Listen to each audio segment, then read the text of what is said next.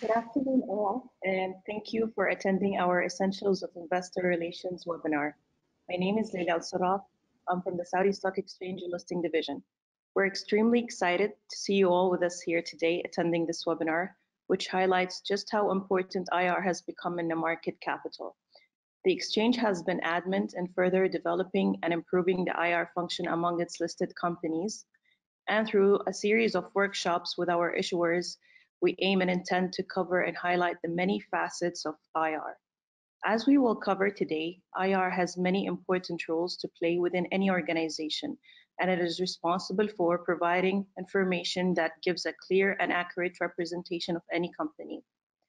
Today, we will cover the many essentials of IR with our colleagues, Debbie Nathan, Managing Director from DNA, and from the recent Best IR Program Award winner at Rajhi Bank, we have Rayan Shuaibi, Head of Investor Relations. And now I would like to hand it over to our colleague from MEIRA, John Gollifer. John, the floor is yours. Thank you very much, Laila, and it's always a pleasure to work with Tadawul I think our audience knows that Saudi Arabia is not only the largest capital market in the region, but it's also the largest MEIRA chapter with a very, very active membership, but it's also the, the fastest growing. So we're in the right place. Uh, Leila just mentioned essentials of IR, and I can't think of anything more relevant after a very, very difficult year to essentially stop, think, and talk about what's really important. And what I've challenged today's esteemed panel of speakers to do is just try to draw out and distill what might be useful to you in the audience in terms of your own IR programs. As always, these workshops are interactive, so you do have a Q&A facility. We'll generally go through our own paces with the speakers first. Alethea, who helped Leila organize this workshop, will keep an eye on the questions.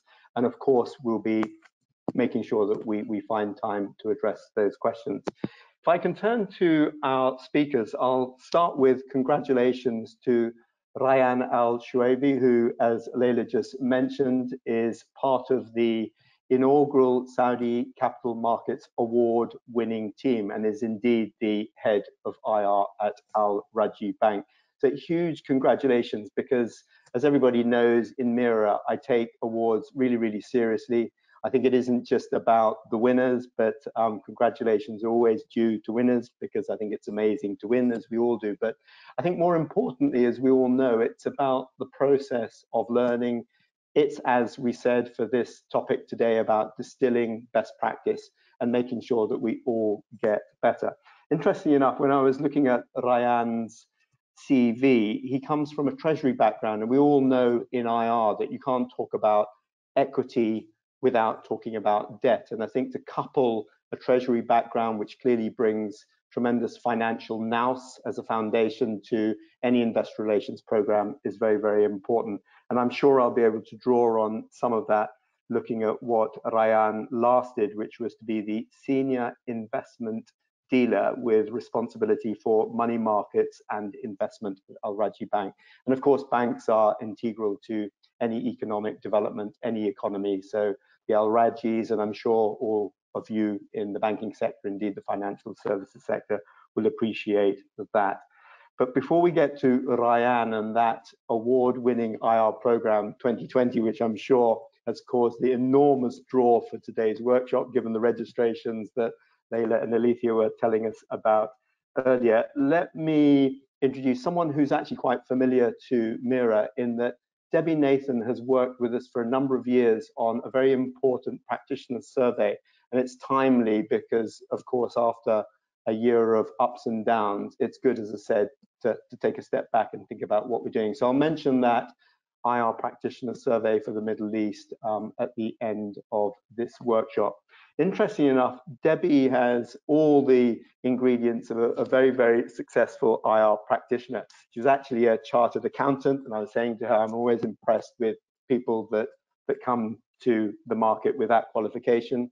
She then went on to be an analyst before being an IR officer herself. And then she took a different tack, and she's now responsible for DNA, an international recruitment and search firm which specializes in communications, not least investor communications or IR as we call it.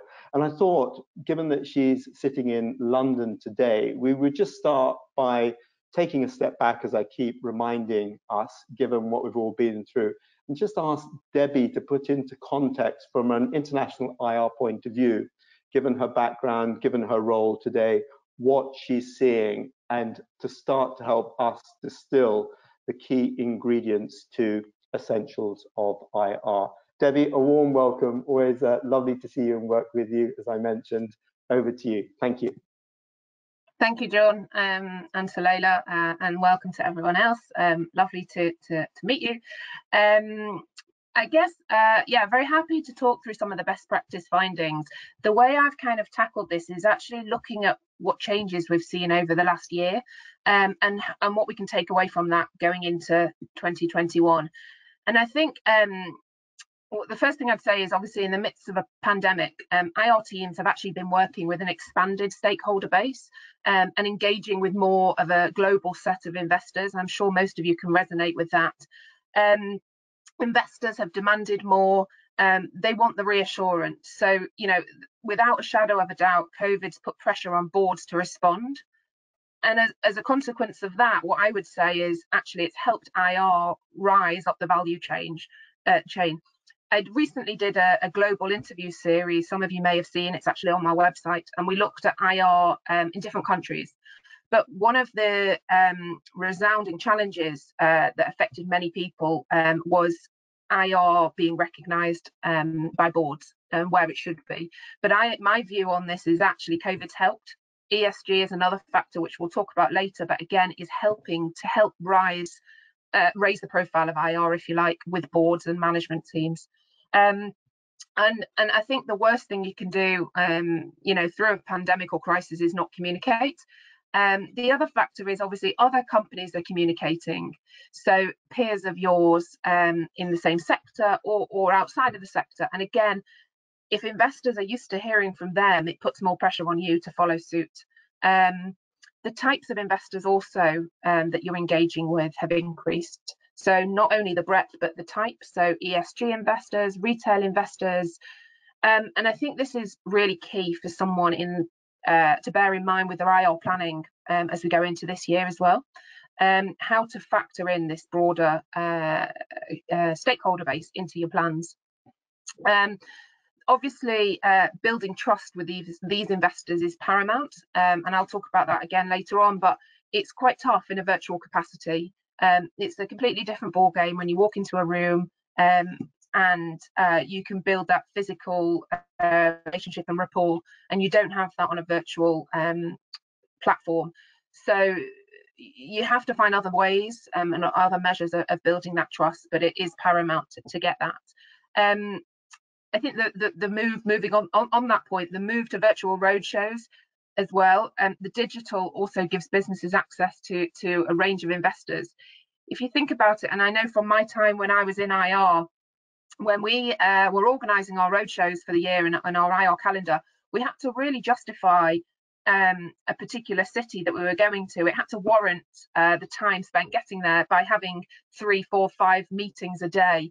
Um, otherwise, it just wasn't feasible to fly halfway across America or Asia or and that that's been abandoned that's the thing of the past for, for now for this year you know you can um city hop if you like every hour um so again that just makes it um easier to tap into different investors but the logistical side of it makes it a bit more tricky so that puts further demands on the IR function from a logistical and planning perspective um I think if you think about it more, um, not from an investor perspective, but as an internal perspective, you know, working remotely, um, managing teams virtually, again, all of that's tough. Um, it's manageable and people are finding their feet. But um, in an environment where in IR you often have to work at speed uh, and sometimes reactive rather than proactive, it, it adds further strain, I'd say, on teams. So a, platform or, or, a plan that allows you to have regular catch-ups um, with your team members is really important so that everyone's on the same page and everyone's privy to the same information. um, because you lose a lot by by not being next to each other physically in offices, etc. Um, from a recruitment perspective, uh, I think interviewing, hiring, onboarding, all of that being done remotely is now the norm. But initially, you know, a year ago, companies put complete hiring freezes in place um, with so much uncertainty on how the pandemic would plan would play out. Um, there was definitely a reluctance um, to make hiring decisions without face-to-face meetings, and it's somewhat um, counterintuitive that because if you put hiring freeze in a function that needs, as we just said earlier, we have more demands to to, to communicate with more people.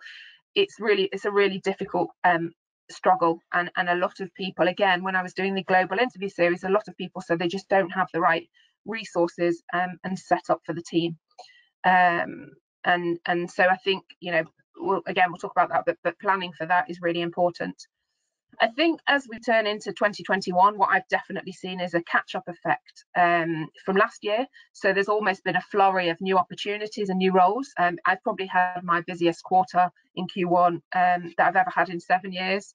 And uh, I think, as I said, I think it's a catch-up and lagged effect from last year.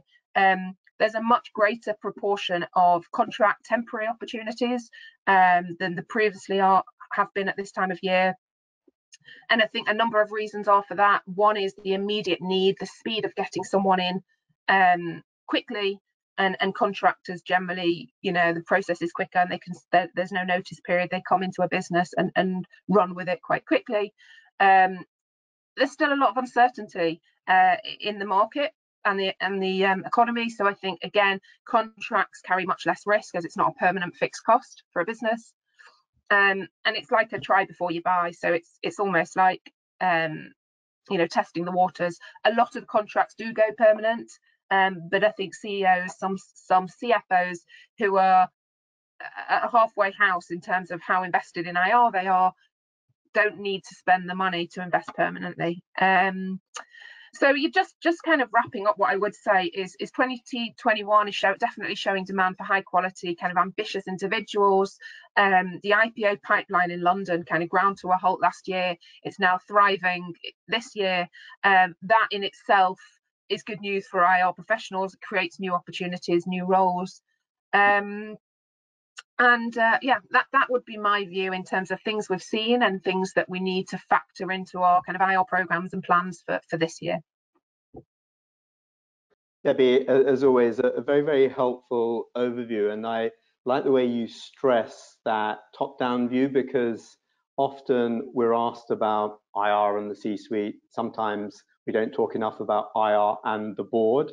And I think given we've all managed um, admirably in very difficult circumstances, the worst circumstances in generations, I think it's imperative that IR reinforces, to pick up on your point, their ability to work internally to ensure that they get the support, the profile, and the resources they require.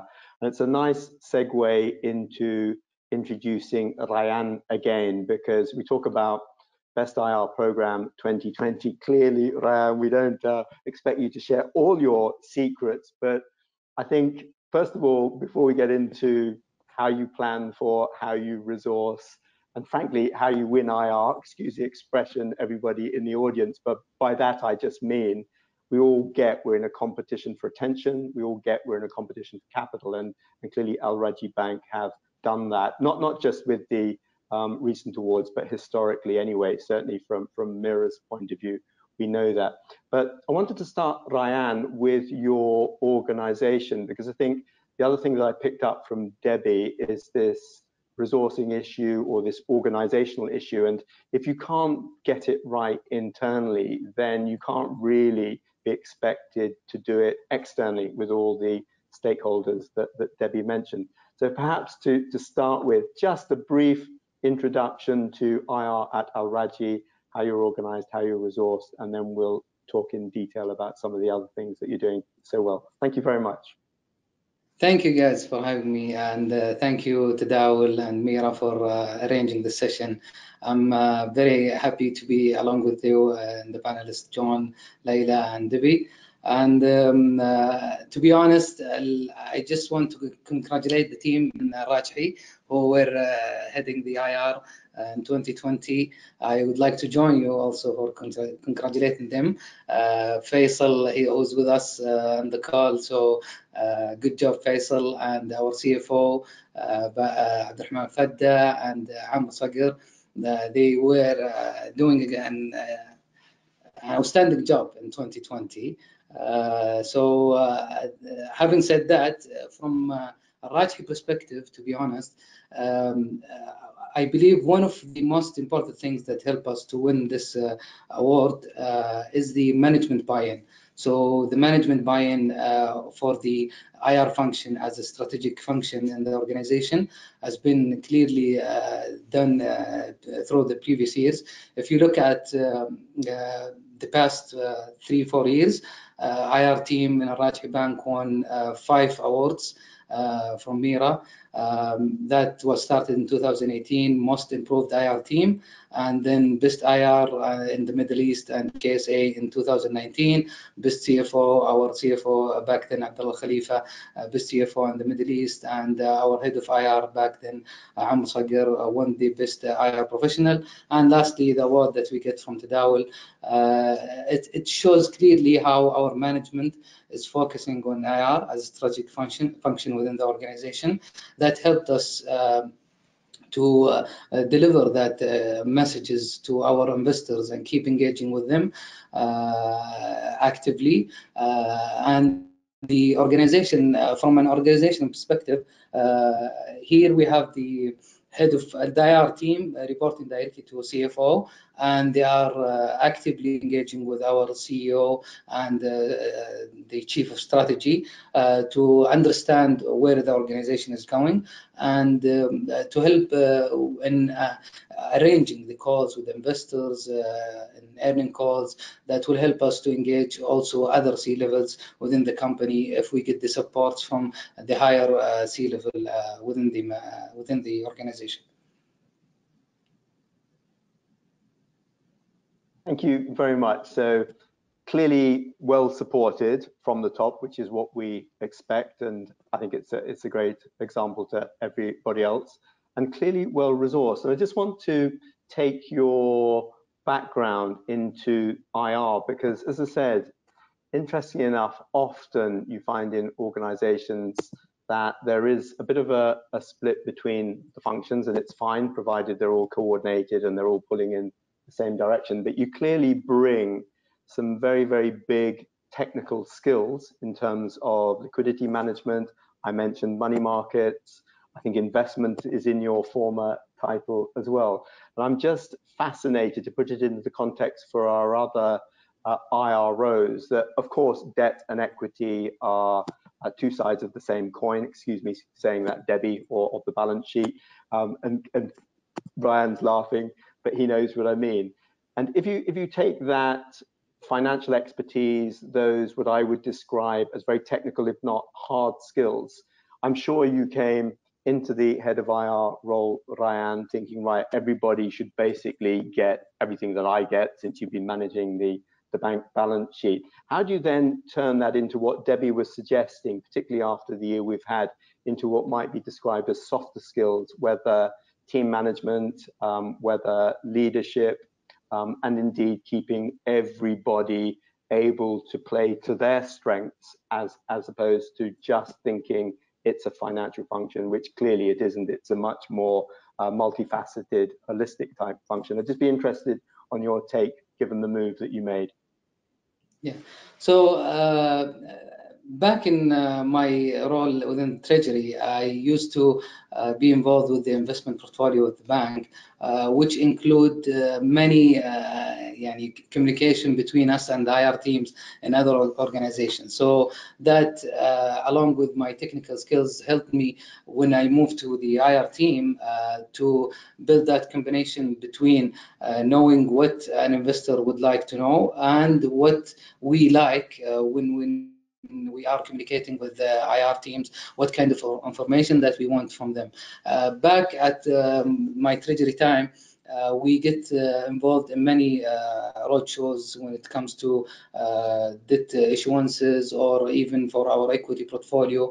Um, the type of access to management and knowing where the company is going, uh, those were the main, main, points that we would like to see uh, from an IR team to provide us with a guidance on the company outlook. Because when you look at it from an analyst or an investor, uh, what they want to know is that they want to, uh, your performance uh, they know it, the current performance, they know it, it's there in the financials, but they want to build their future outlook of the company uh, and the organization uh, from the current performance along with the uh, view in the future.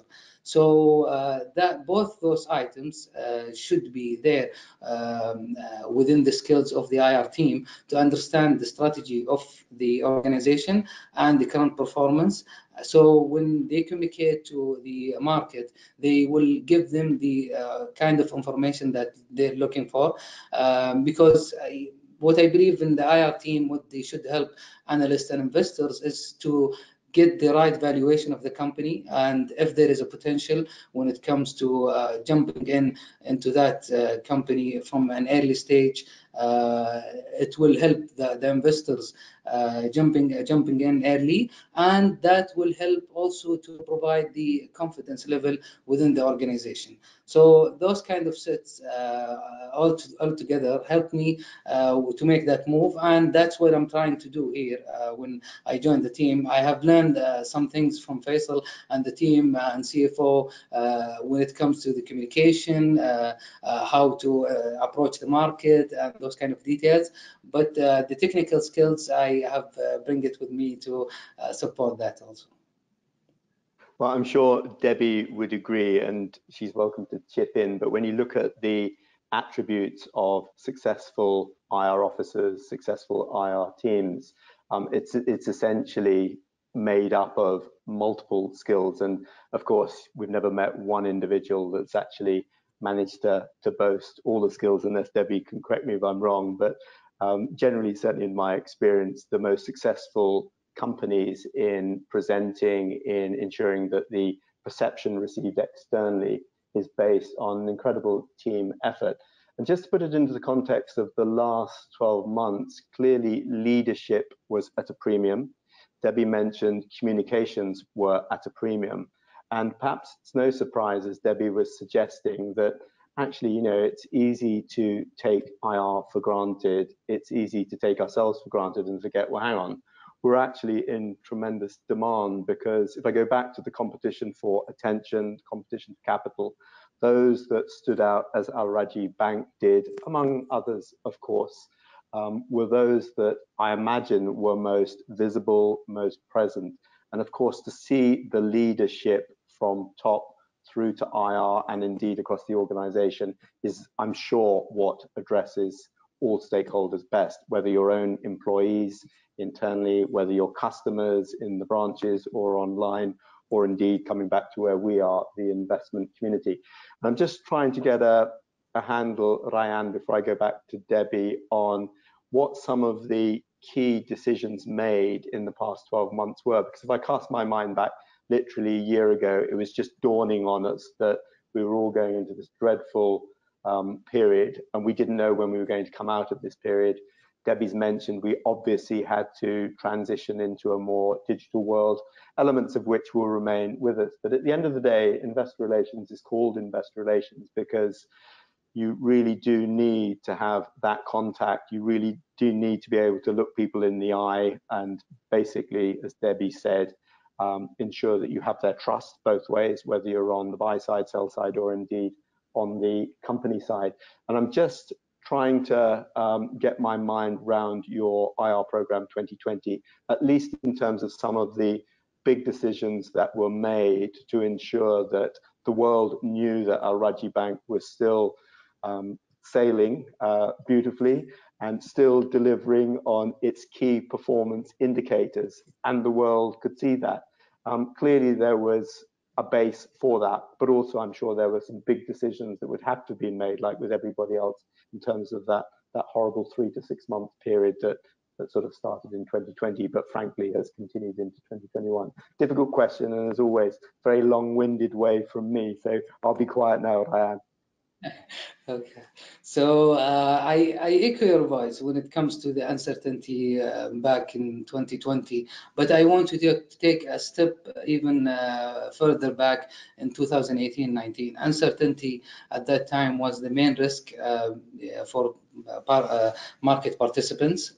Uh, due to many reasons, US-China trade wars, uh, uh, trade tensions, and then Brexit and geopolitical tension, especially in the Middle East. And then you move to 2020, where we are facing a new virus spreading quickly. We don't know, there is no vaccine, future outlook is not clear. So I, I think the management decision at that time we want to address that uncertainty because it's an important thing that for our investors. We have seen a huge sell-off in the market during March uh, time uh, across the globe, uh, and that uh, required uh, being a proactive management uh, when it comes to communicating to the market. So what the management have done, uh, they uh, try to, uh, within the IR material, uh, to provide some highlight on the risks that we are facing. Uh, and if you see it within all of our IR materials, whether it's investor presentation, earning calls, uh, and, and other materials, it, it highlighted what are the main risks that we are for, for, uh, facing in the market. What are we doing in Al-Rajhi? And then uh, we uh, try to make a separate slide uh, tailored to foreign investors to show them the government initiatives locally, uh, what, what they are doing in the, in the market. So for them to understand, most of the foreign investors are not available in the market, so they, they might hear some of the initiatives from the government. However, we want to elaborate more on that just to give them the assurance of uh, what the economy looks like.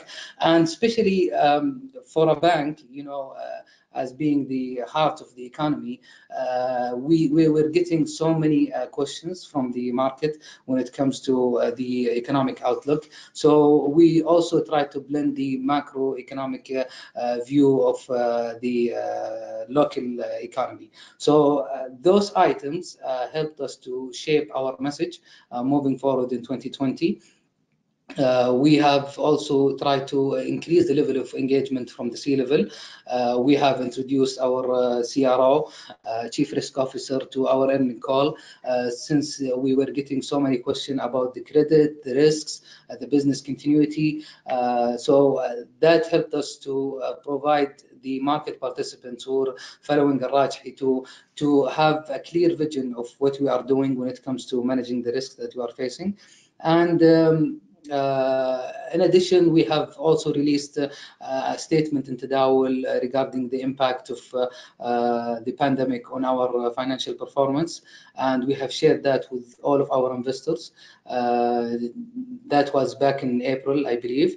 and at the end of the year and during our earning call for the full year, we have also invited our GM retail, the head of uh, retail business, since we have uh, done outstanding performance when it comes to the mortgage uh, financing portfolio. So that will help also the investors to uh, understand what we are doing uh, from the head of the business itself.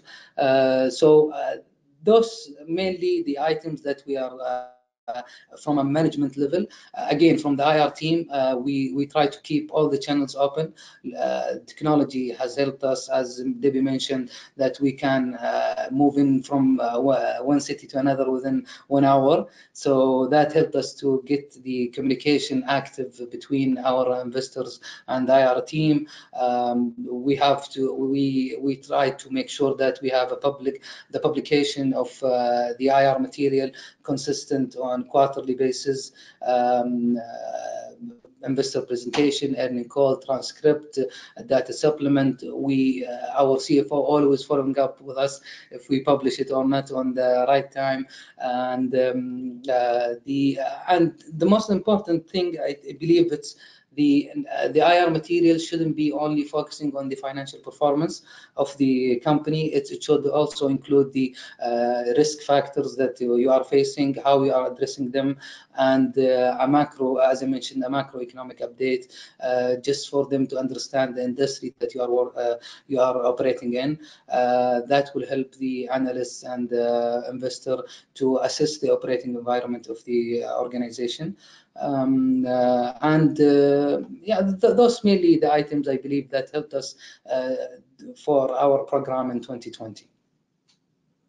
Most comprehensive, Ryan, and what stood out to me in what you just said was the involvement across the bank, including the business lines, because as you said, at the end of the day, they're the, the guys or ladies driving the individual businesses. They're the ones at the sharp end.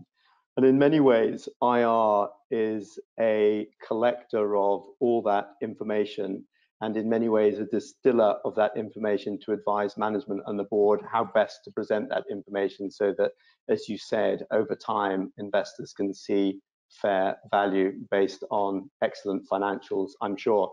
And I think both Debbie and I know, having worked in banks as well, that the beauty of working in the banking sector, as you just said, Ryan, is you're at the heart of um, the economy. In many ways, you're the lifeblood of the economy because you're producing funding for the economy, and therefore you get an incredible macro economic snapshot at any point in time. So I think in, in some ways the banking sector had big advantages because it's a way of thinking. You described it as risk management, which I think is spot on. Before I come back to you on the broader risk factors, if not the ESG factors, so factors pertaining to bigger um, issues around other stakeholders, whether environmental, social, or governance. I'm just going to quickly turn to Debbie because I have a question, Debbie, that fits in quite nicely here before we get back to the ESG and IR, which clearly can't be spoken of um, without thinking of, of, the other these days, quite rightly. And I think you, you prefaced that Debbie. There's someone here asking if they're relatively new to IR, having listened to everything we've just described, I hope we're not putting them off. In terms of the technical skills or the hard skills, what's the weighting between that, but also the quite complex people skills, soft skills, team skills, leadership skills. So as a, as a search firm, um, DNA today quite pleasingly said, well, there's lots of opportunities because there was a lag effect and suddenly there's a day of reckoning in terms of, well, you better have been externally facing, you better have been communicating. What are the skill sets that you think are a minimum? And if I don't come to the table with the minimum either technical or soft skills, how do I develop my IR career, Debbie?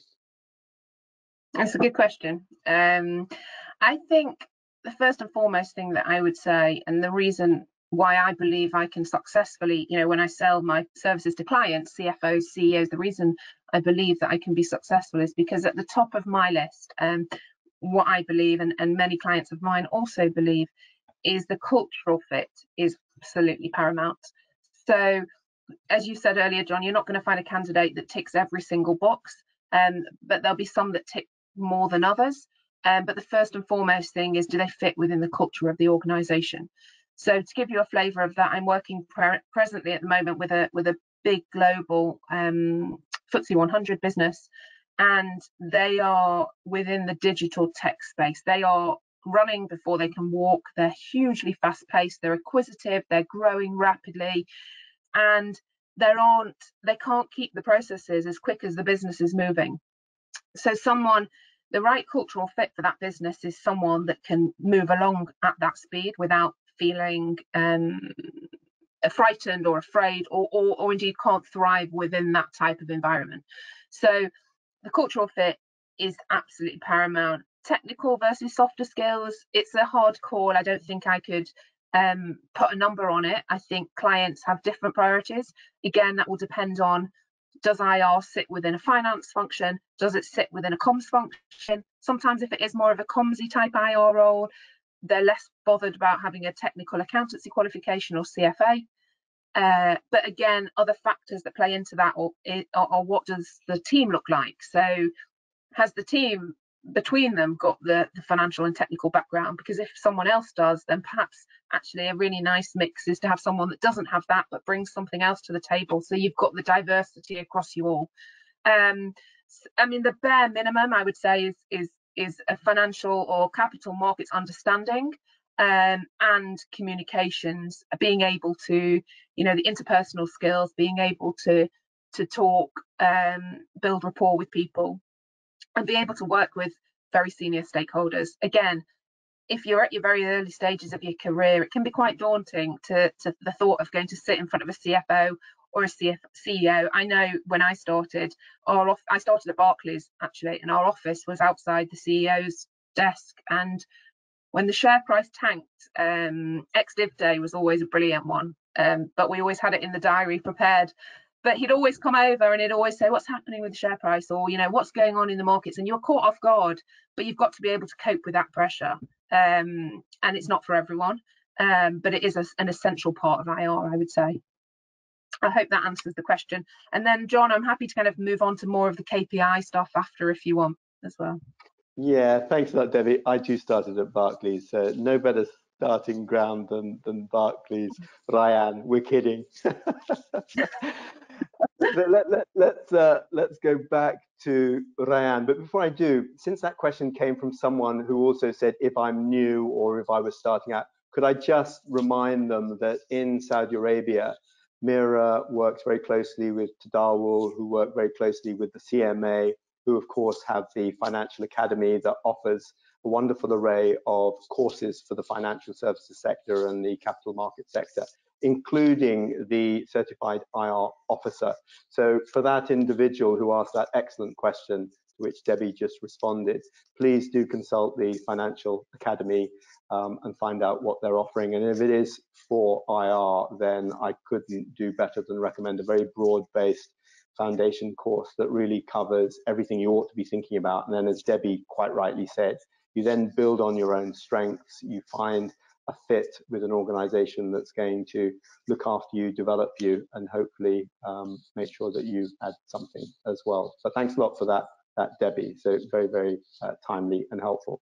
And if I go back to broader stakeholders, I think one of the features, Debbie, that you mentioned, and of course Ryan picked up on as well, is we can't really talk about IR without talking about broader stakeholders. And if we didn't learn anything um, through the past 12 months, um, it's surely that people come first, however we describe people, um, whichever acronym we put them in. And one of the things for that inquirer with that excellent question about starting out is one of the problems with our industry is we love jargon, we love acronyms, we assume everybody knows what we're talking about, including when we talk about ESG, when nothing could be further from the truth, Ryan. So when we talk about ESG, it clearly means different things to different businesses because fundamentally it's about, you mentioned it, risk factors and what's material to your business and what frankly you use internally to make sure that you remain on track before being comfortable about reporting that externally. And I know there's lots of discussions, including in the UK, Debbie, about um, trying to mandate more forcefully uh, reporting on some of these non-financial factors, for want of a better expression. But at the end of the day, knowing and having been at the sharp end, I'm hoping that Ryan will give his own take on it. It's really for the people running the business to determine how best to run the business and how best to report on that business while accepting clearly, whether we like it or not, there's a undertow, a swirl of more um, needs for more people, quite rightly, because we've just been through a global pandemic.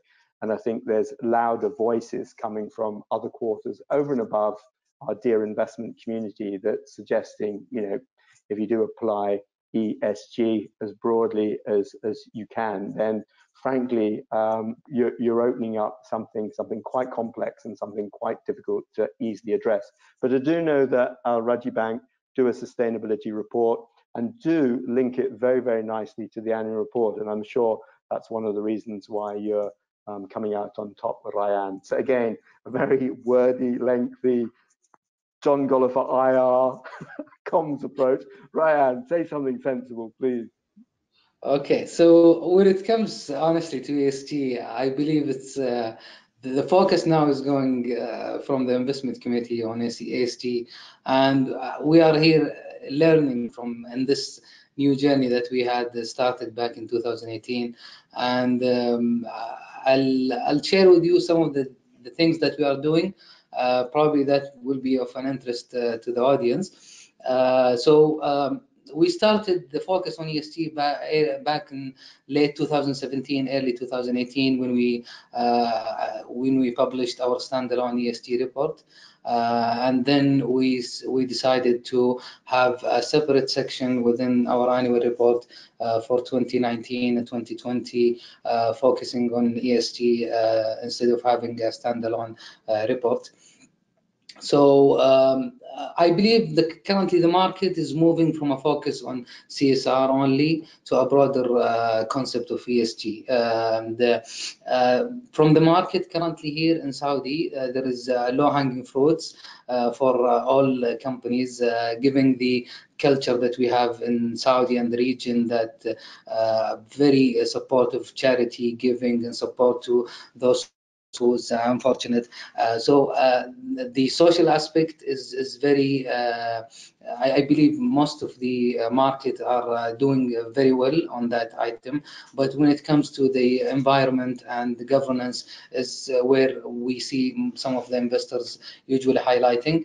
however, we, are trying to learn from what we have done in the past, see what the, the, things that we have done in, in, a, in a good way uh, through linking it uh, the, some KPIs to our strategy uh, back then at that time and then uh, put some KPIs. And most importantly is that to uh, be a bit brave and try to put those uh, items and KPIs in the IR material and uh, communicating that to investors because that will put some pressure on the organization to try to improve uh, moving forward. Uh, so we have done that in the past. we have done it on our call on a quarterly basis and investor presentation. we put some numbers there uh, to show our performance when it comes to ESG and uh, to highlight the improvement that we have done. And uh, moving forward, we are having a new strategy within the bank. And what we are trying to do is to again align some of the ESG uh, items uh, along with the uh, overall strategy of the bank. Try to find the KPI that go along with the strategy uh, so we can draft the KPIs around it so we can track it uh, and link it to the performance of different entities within the organization. Um, and one of the things that I believe is will help uh, many organizations when it comes to ESG is try to look at the items uh, that that it, it, will not only help you to just to do the right thing it will also uh, give you a good business uh, that will improve your uh, bottom line. Uh, it will be an easier to sell to the top management to support you for items that related to ESG I think you hit the nail on the head. I mean, because if it isn't business led, if it doesn't make business sense, then frankly, you wouldn't be in business. And correct me if I'm wrong, Debbie, because I'm going to come to you next. I mean, when we talk about ESG, I, I think sustainable business, meaning long term business that's going to get you through thick and thin, as, as we saw over the past year. But I'm interested, Debbie, to go to you because you would have worked across different markets, you'd have seen different practices, different responses. So give us a perspective from where you sit while recognizing that when we talk about the Middle East, um, of course, it isn't just good old Saudi Arabia, which is our biggest capital market. It's such a diverse region with so many different starting points, with different agenda, different resources, and frankly, different capacity to do some of the things that maybe some of those stakeholders are demanding. Um, and it doesn't happen over overnight, as, as Ryan was just suggesting. Debbie. Hi, yeah, thanks. I think actually the first thing I'll say is we're a really interesting point here um, as we lead up to the AGM season. So um, there's a lot of expectations and there's a lot of there's been a lot of discussion around what we're expecting to see. Um, so the pandemic has you know, obviously placed companies under a lot of scrutiny regarding ESG, and probably more so now than ever before. Um, and I think there will be pressure points as we go into the AGM 2021 um, season around disclosure, um, engagement, and also, you know, whether remuneration is is kind of balancing the interest of of the company's stakeholders. There's been um, furlough schemes and all sorts, government handing out handing out grants here, and for businesses that have drawn on some of those resources, they have to make sure they align um, remuner executive remuneration. So again, that's an area that's been really scrutinised. Um, and I think, you know, uh, Ryan said about KPIs and putting some of the numbers in your disclosures, you know, more and more companies are are, are looking at that as as the norm. Um, the other thing to factor in is is the increased um, kind of reliance or importance of these research providers such as like ISS um, and where people maybe didn't take much uh, accountability or they themselves didn't carry much authority. Nowadays, some of these um, questionnaires that you might get sent or forms to fill in about your ESG efforts are, are really paramount and they can't be ignored. And you know they have to have a dedicated resource internally who's going to take responsibility for ensuring it's fully completed because the weight that they carry spreads and disseminates across the entire investment community and it could be a decision uh, firstly it will be um, it, the results of that will go to a specific investor base. Um, so those investors that are only interested in investing in companies that tick certain boxes. Um, so it's uh, opening up a pool of capital for companies is really important. I think um, the other thing I would say, and, and Ryan would probably, I think you alluded to it, is that ESG policies are, uh, evolve over time. So they're they're not static policies, and I think companies need to recognise that you have to be flexible. So wherever you're starting from, it doesn't really matter. It's it's where your end goal is, and where you and that end goal might keep changing, but it's how you get there, and and the regular update of policies throughout as well. Um, it, again, going back to the digital, these virtual AGMs are basically going to help investors kind of um, gain better access to companies, you know, far afield that they would never have had access to. So I think going, you know, I think it will really um, be scrutinised as a topic ESG. Um, and and then from a recruitment perspective, which which helps to demonstrate how the weight that's being put on ESG at the moment, particularly in the UK. I mean, candidates are upskilling in ESG to make them a standout candidate. Going back to um, the question asked before if you're new coming into IR and, and, and where do I place between technical and um, softer skills, those candidates that have ESG on their CV now are, are ranked higher as well. It's another string to your bow. Um, it's something that would draw you into a company compared to those that don't have it. Um, so there are um, courses that people are doing. Um, there's specific agencies that focus on ESG that that corporates are using as an outsourced solution. Um, there's ESG standalone roles that are being created that basically sit alongside IR um, and ensure that all of the reporting from an ESG perspective is integrated into all the IR reporting. And I think, as Ryan said at the very end, you know, it ensures that ESG just becomes a way of doing business rather than just a report.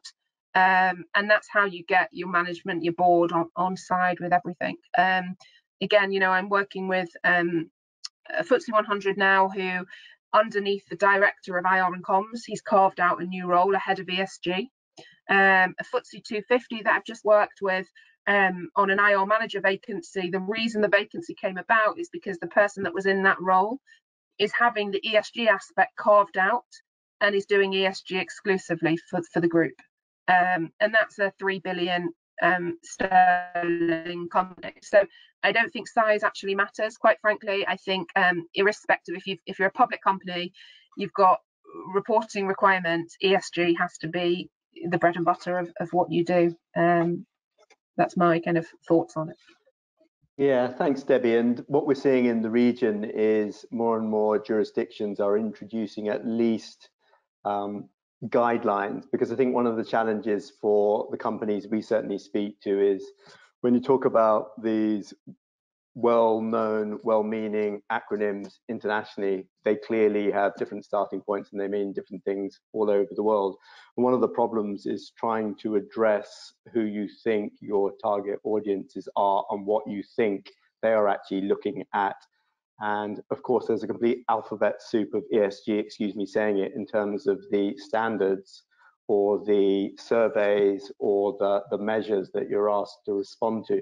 So Debbie, it's a difficult one, but given where we are going into 2021 with a captive audience thinking about essentials of IR, if they're asked by their management to measure the value of their IR, what sort of KPIs do you think are most relevant in this age? And I say that because you also mentioned the digital world, access, market reach, and in many ways, it's addressing the next generation as well, because the next generation is certainly far more uh, literate, tech savvy, digital than I'll ever be.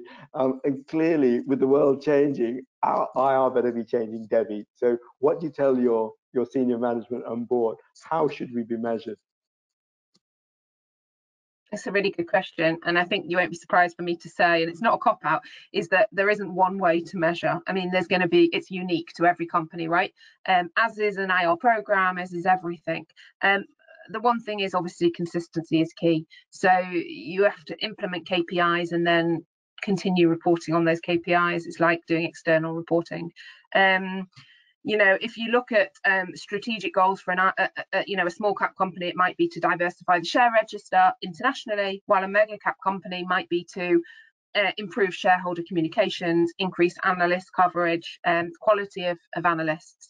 Um, I think um, what I would say is, you know, there will be new factors, new KPI factors that come into any IR team um, off the back of the, the year that we've just had.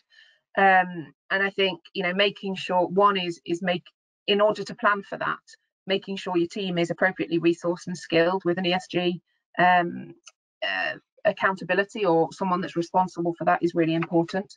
Um, so obviously that's not a, a, quantitative measure as a KPI, but equally um, as part of your planning you set your team structure and, and demonstrate what that might look like going forwards um, the other thing i would say from a kind of planning perspective is um, make sure that you know as, as we've all talked about what's the digital world has enabled us to tap into lots of different investors make sure you don't forget about them make sure you follow up with them so anyone new that's just heard your story they want consistency too so go back to those same investors and continue the story and how you've progressed and how you've moved on. Um, and I think that will be um, very much welcomed as well. Um, and then the other thing is, you know, again, as part of your planning, you know, conferences, um, you know, have a have an IR plan, if you like, of, of what conferences you want to attend, um, and and you can turn that quantitative as a as a KPI in terms of what you set out to to do um, and and what you actually do. Um, I mean, one flipping it one thing i would say that doesn't work is when ir teams have measures that rely on share price or liquidity as a kpi in markets like we've just been through it just is totally disheartening and demotivating. So i think i would my advice would be to steer clear of those ones. Now obviously as part of remuneration packages you need to have an element of that but that can't be the key indicator um, as we've all just you know seen i think um, there's got to be things that you can actually impact and control rather than ones that we're unable to influence like a global pandemic. Um, so so summing up i know we're, we're running out of time but summing up i think agility is key as well i think that um, for all the will in the world you could have set your kpis in january 2020 and by march all of those could have been out the window and you've got to adapt to a new environment and you put new plans in place um, if you're too rigid again, it's not going to work as an IR function. So, you know, agility to, to be able to move with digital digital advancements, um, new resources, etc. I think is key. I, think that's very well put. I'm going to ask Ryan just to chip in if he's got any additional thoughts around what, what's clearly important, because one of the most common questions we get is, oh, you know, we're seen as a cost center management's always asking us how we should be measured, how do we demonstrate value. And I think you actually put it very plainly and very helpfully, Debbie, by saying, well, you know, like all sensible things, manage what you can actually control. And it can be as simple as the number of houses covering you in terms of research. And if your peers are being covered by a few more people, well, why aren't you? Shouldn't you be working towards getting that coverage as well? Um, you mentioned the IR planning, which is obviously essential in terms of target audiences. Well, do you actually get to meet those audiences and ultimately do you convert those audiences into the share register? And so many other ways of measuring performance for individuals, teams, while aligning everything with what the organization and the management is thinking and doing. So on that note, before I come back to you, Debbie, with any um, key takeaway that you might wish to leave with the audience, although you've covered so much already. I'm just going to turn to Ryan and see if he wants to just chip in on KPIs, because obviously, as you said, Debbie, it's a tough one. It depends because it's different for everybody and every organization. But what's been Al Rajhi Bank's experience, Ryan? What works? So uh, again, um, similar to what uh, Debbie mentioned, I, I think those are uh, very valid points when it comes to things that you have control of, um, like the IR material communication, uh, the uh, the producing of those material, how the market is uh, perception on that, uh, uh, what kind of information that you are providing, and the um, shareholder split between institutional and retail. Uh, for us here in the region, the QFI, the foreign ownership, it's another um, KPIs that uh, uh, you, we might consider. Uh, also, when it comes to ESG, as uh, as Debbie mentioned, sometimes it will be uh, hard to measure that and put it within the KPI. Um, uh, one of the things that we might you might consider is to look at the ownership of ESG funds that holding the company. So that will give you an indicator how you are ESG friendly when it comes to investor buying in into your stock. Um, those mainly the points that I want to add. It. Thanks, Ryan. And another question coming in on ESG, which essentially says um, it's difficult to compare apples with apples um, clearly across any market. Is there any move towards some sort of convergence? Well, there is. And Debbie, I mean, feel free to chip in. But if I look at it in broad terms, my own experience of um, non-financial or broader reporting was based around something that's called GRI, which is Global Reporting Initiative. And it's essentially a European-based, European-driven view of non-financial and financial reporting that's been around for, well, certainly when I was uh, in my last IR role over a decade ago, so that's quite a long time in ESG standards. And at the same time, in America, um, they've developed more recently their own version of that, which comes under something called SASB. Now, people are going to ask, well, what does SASB stand for? I can tell you that it has sustainability in it, and it's clearly standards. And there's somebody else that can tell you what the A and the B are. Debbie, you don't know what SASB stands for, do you? I think it's um, something, something, sustainability. Forget it. Anyway, SASB, S-A-S-B. Alicia, I hope you're looking this up for me and that you can chip in. SASB is almost like the equivalent of GRI that I mentioned in European terms. And I think the challenge for regulators, even governments now, including in the UK, is trying to get some sense from the different takes on sustainability reporting. And Debbie will know that um, we've got some very, very powerful groups in the UK that are being led by either former policymakers, and I'm thinking of um, Mark Carney. I can't remember what his acronym for his task force is, but it's a UN related task force. Um, there are other such bodies. And I think one of the difficulties is trying to converge or integrate all that to answer the question I just got, which is, you know, there isn't an apples for apples comparison. And that's a challenge, but I do know in this region that regulators, the exchanges are at least trying to embrace what they're seeing and putting it to the companies to try and explain what they think is material. And in many ways, I'd argue, as I'm sure Ryan would and Debbie as well, that it's as much bottom up, meaning coming from your own business point of view, as it is um, being, what's the best way of putting it, um, a burden on you or imposed on you. And it's not supposed to be. It's supposed to be, as we said, a good way or a better way, as Ryan explained, to run your business. Now, I, don't know whether that was a particularly satisfactory answer for that for that question, but it's a good question and a difficult question. Before I, I wrap up, I'm just going to see if any of our speakers just wants to leave you with any parting comments before I wrap up. And uh, Leila, feel free to jump in as well. We've still got a few minutes because we started a few minutes late. So um, please feel free to do so. I'll start with Debbie. Thanks, John. Yeah, just thinking about it, and I know we're short on time, so I'll be quick. But I think if I was to leave you with any key takeaways for, for managing an IR program um, for the next uh, year, I guess from experience, things that I would say are it's and actually it's irrespective of the pandemic this is just absolute essential is is building your internal network first. You can't my view is you cannot successfully deliver an IR program until you've got your internal stakeholders on board. Now in some jurisdictions and regions obviously it's an educational piece internally because they don't really know what IR does. So it's completely paramount um, including junior and senior people make sure they in order for them to value what you do they need to understand what you do. So you can do lunch and learn sessions, you can invite them into webinars, conference calls, let them hear what happens when you're on an analyst call.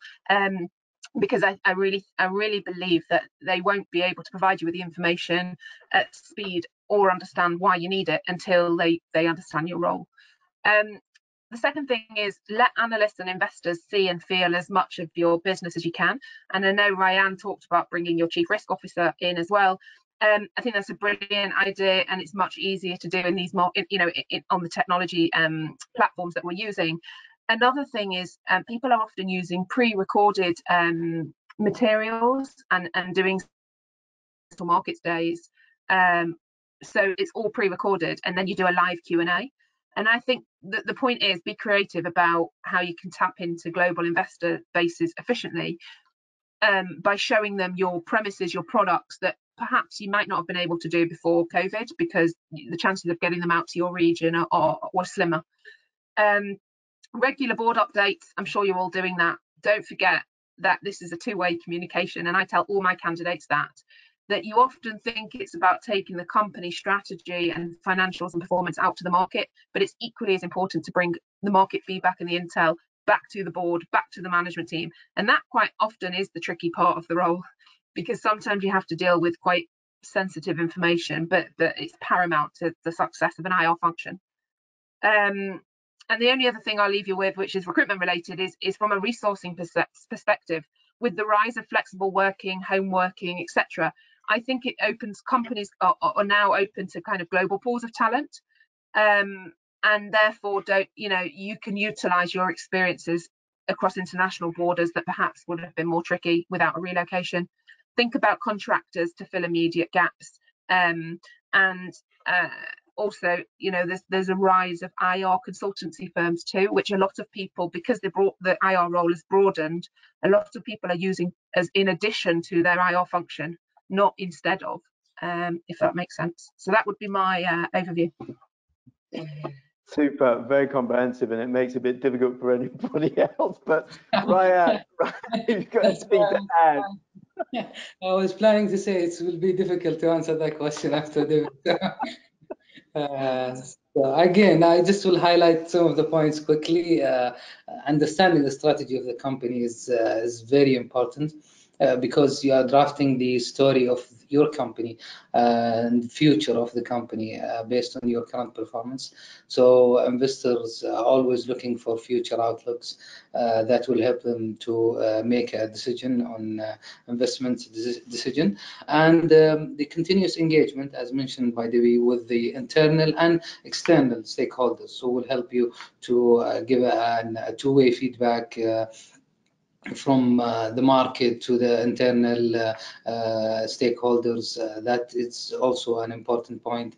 And uh, learning from the uh, peers in the market attending webinars like this one. And we are fortunate here to have uh, MEIRA Tadawul that set up something like this a community of profession for IR to help each other and build the value for an IR within the market. And finally uh, I, I, believe one of the questions that we received for, from uh, a, new to the IR uh, guy uh, I think the toolkit uh, also that Tadawul is uh, putting in their website is very helpful. It helped me a lot when I firstly joined the IR team. Um, it's very comprehensive, highlight many of the aspects that IR team would expect. So that's for me. Thank you. Goodness me. Well, I must say, it couldn't have been easier when you've got a Rayan and a Debbie. Um, I think you, you've said it all. Layla, I don't know whether you just want to make any parting comments before I, I wrap up, but um, that was an outstanding, outstanding discussion. Thank you, John, Debbie, and Brian for uh, having this a very rich dialogue um, and hosting this webinar alongside. And just to answer uh, reiterate what Rayan has said, the IR toolkit on Tadawul's website would be mostly very beneficial for that person who posted that question. And lastly, Joan, that uh, you asked about SA SAS. SAS stands for Sustainability Accounting and uh, Bo uh, Standards Board, the nonprofit organization you were referencing. Goodness me, Leila, well, amazing. Thank you so much. No wonder I couldn't remember it. I still can't remember what, what it stands for. Just wanted to, to say one last remark. Uh, we look forward to hosting more uh, workshops and webinars of the same sort, and we look forward to having all of our um, issuers attending those um, series of workshops alongside with MEIRA. And that's it from my end. Thank you. Well, again, on behalf of MEIRA, thank you so much, Layla and team at Tadawul. Obviously, we any of these events without your tremendous support and help, and we thoroughly enjoy working with you. And I know there's lots more to come in 2021. Clearly, we can't have practical discussions that leave you with key takeaways unless we get quality speakers like Rayan and a wonderful international view from, from Debbie. And I'll just end on one point which Alethea has reminded me of, and that will be uh, launching the Middle East IR Practitioner Survey, which I actually touched upon because Debbie has actually worked with us in the past on it. And I just throw to you in the audience the opportunity to think, well, if we're going to come and ask you key questions around who you are, what you do, how you measure and view your IR, if there's any other thoughts around the sort of content that you think would be usefully addressed to you and your peers so that we end up across the region with a nice database of information that we can then use again in events like this, but also share with you. And just to say um, a big thank you to Alethea, always behind the scenes, always there. Uh, should you have any follow-up questions, she also runs all our publications. She's done an amazing job in the last 12 months in particular, um, but has been doing that for some time. And I'm sure if you have any unanswered questions, given that I never give particularly good answers to any sensible questions, Alethea is your person, and I'm sure she'll point you in the right direction.